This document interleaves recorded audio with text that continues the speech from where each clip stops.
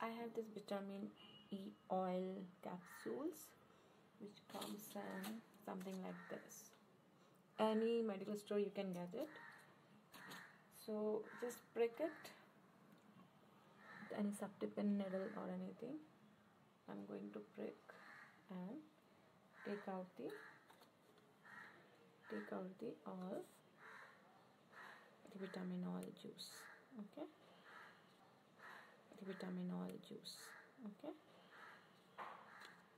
Once that is done you have to do nothing. You have put some aloe vera.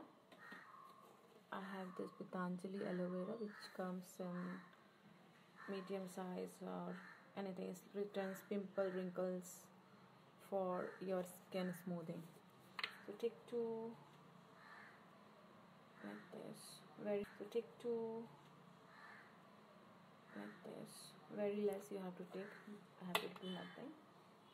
And if you want you can put gulab jal or turmeric. Turmeric is good so you can add turmeric also. But I have this paste ready with me with aloe vera and vitamin E. See it will look like this thing this is paste I have to just apply have to just apply on top of acne.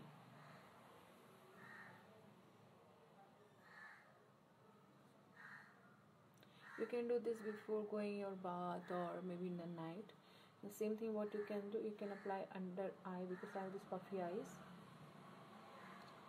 We apply all this on puffy eyes and leave it for 10 to 15 minutes if you want more. If you want more you can do either like before sleeping or in the daytime. But daytime what you can do you can't keep it more than like you have to avoid sun. That's it. Nothing else.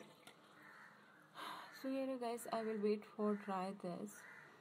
And once it's done i'll meet you again bye